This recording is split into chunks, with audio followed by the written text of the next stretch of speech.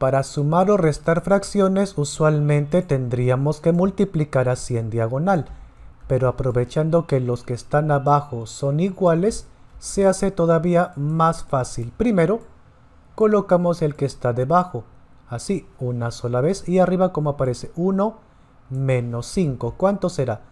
Aquel 1 no se le ve su signo, entonces se asume que es más, así que más 1 menos 5. Como son signos diferentes, los números se restan. La resta de 5 y 1 es 4. Y va el signo del mayor. Entre 1 y 5 el mayor es el 5 y su signo siempre el que está para este lado, o sea el menos.